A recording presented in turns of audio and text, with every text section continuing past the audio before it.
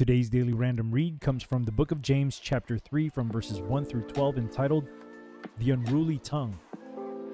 My brethren, be not many masters, knowing that we shall receive the greater condemnation. For in many things we offend all. If any man offend not in word, the same is a perfect man, and able also to bridle the whole body.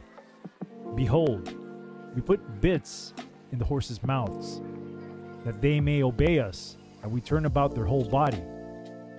Behold also the ships, which though they be so great, and are driven of fierce winds, yet are they turned about with a very small helm, whithersoever the governor listeth.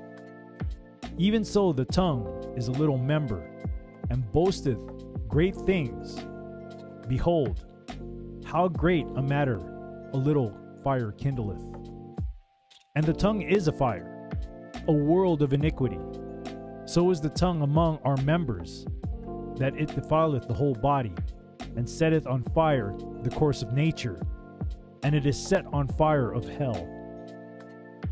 For every kind of beasts, and of birds, and of serpents, and of things in the sea is tamed, and hath been tamed of mankind. But the tongue can no man tame. It is an unruly evil, full of deadly poison. Therewith bless we God, even the Father, and therewith curse we men, which are made after the similitude of God.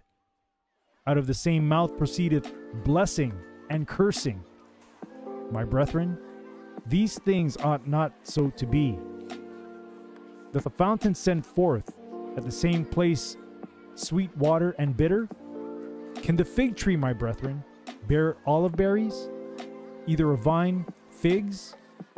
So can no fountain both yield salt water and fresh. Once again, this daily random read comes from the book of James, chapter 3, from verses 1 through 12, entitled The Unruly Tongue.